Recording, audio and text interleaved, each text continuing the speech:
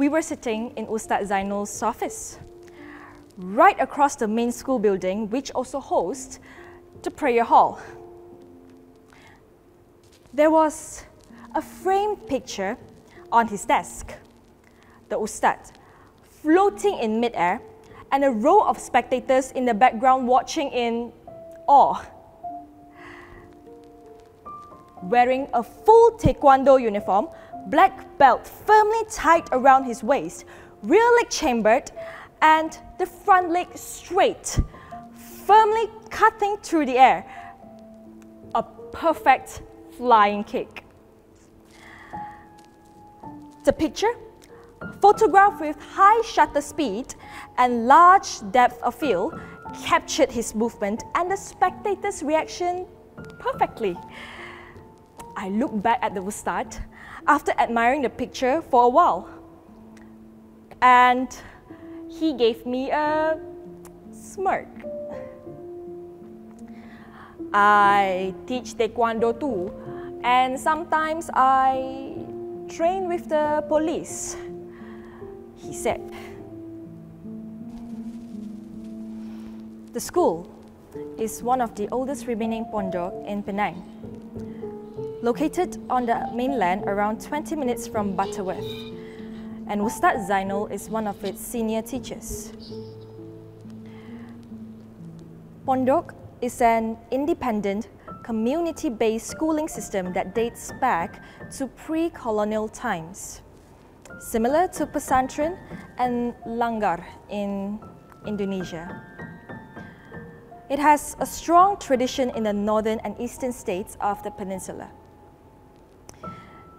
My colleagues and I were there as a part of a research tour that we were conducting across the country to learn more about the Pondok system and its history.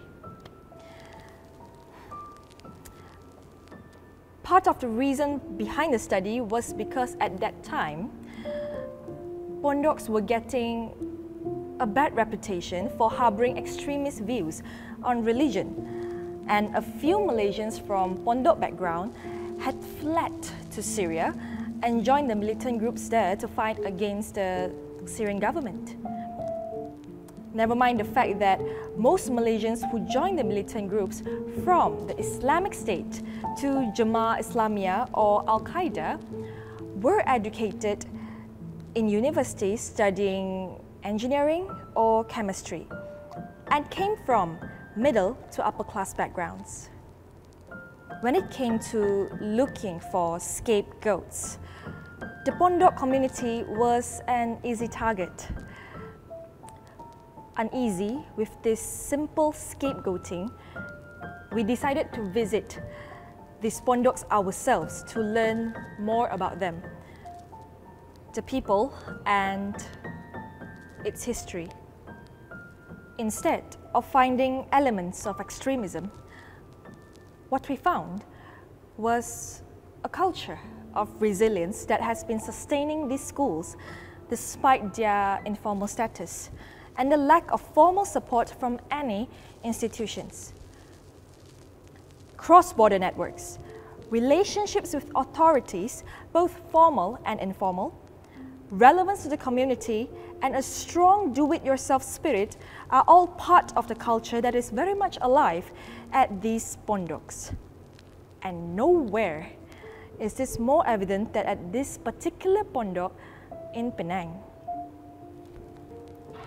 Open in 1930, the Pondok follows the Al-Azhar syllabus from Egypt. At the time we visited, it had around 500 students, including a significant number of foreign students from Cambodia, Southern Thailand, Southern Philippines, Indonesia, and Vietnam. Even the local students came from all over the country, many from Sabah. Ustad Zainul himself is a Sabahan.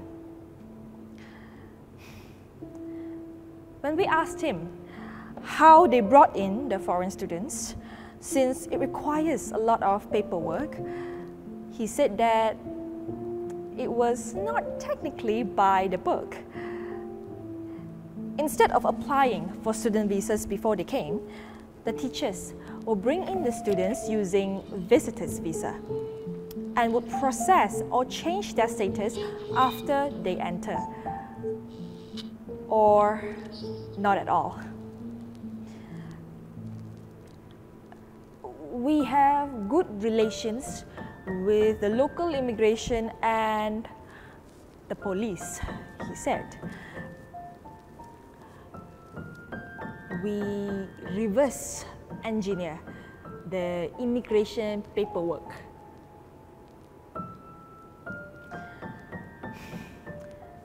The Pondok in Penang is also part of a network of six other Pondoks in the region, sharing patrons, funds, manpower and expertise.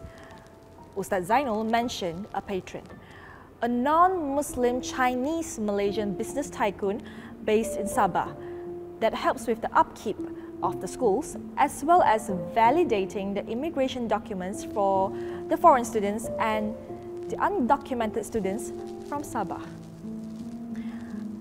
I asked him whether the school tended to attract more illegal foreigners and undocumented. And he said yes, since they are barred from entering the formal education system. The Pondoks become the only place they can get education and protection. This is part of a long tradition dating back to during the colonial era where people went to the Pondok because they were not allowed to join the colonial schools.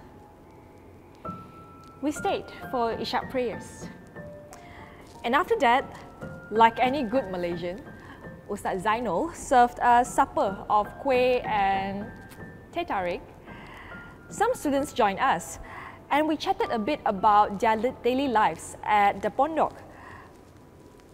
Some of them were telling us about their plan for Khuruj, a missionary tour that is also part of their tradition, traveling to other parts of the world, mosque hopping, sharing the good word from the Holy Book. Another way for them to also build new networks and relationships.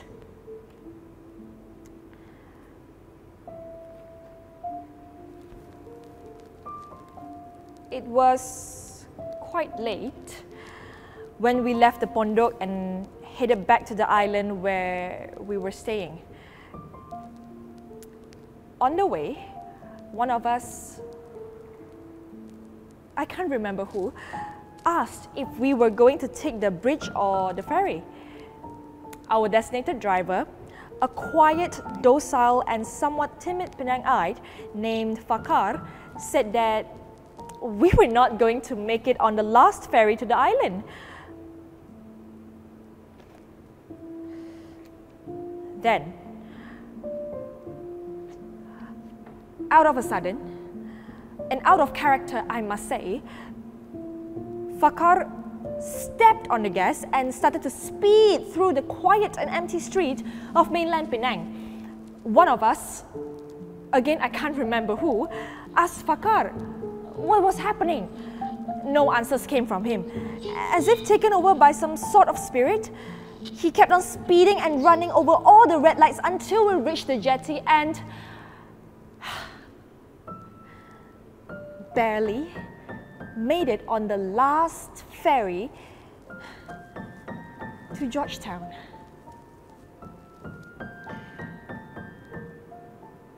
On the ferry, Fakar parked the car, turned off the engine, and Without saying a word, he got out of the car, sat on the nearest bench with a book in his hand,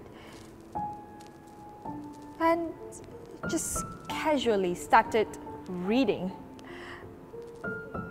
It took the rest of us a minute to recover from the sudden high speed chase and to recover from Fakar's sudden change of character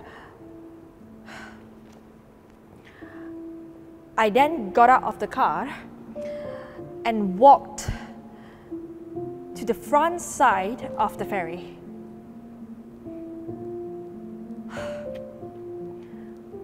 With George Town in full view.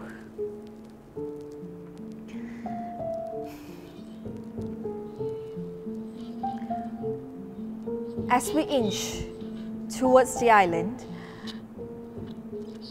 was difficult not to admire it. Older than the nation's capital, it has been a place of convergence of different characters from all over the world traders, colonizers, missionaries, pirates, government officials, freedom fighters.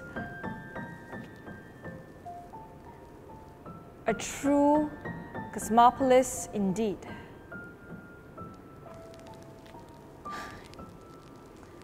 But with new technology, it is becoming more difficult to stay under the radar, to stay anonymous, and to be safe from the eyes and clutches of the authorities. People are selected and filtered before they can enter a place. Behaviors are controlled, and little by little, the place and its people lose their unique character.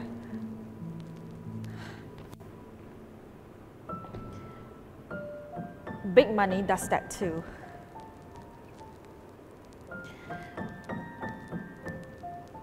But at least some form of rebellious, ungovernable, and non conformist tradition and networks still survive. And for some reason, it gives me a sort of comfort. And dare I say, inspiration.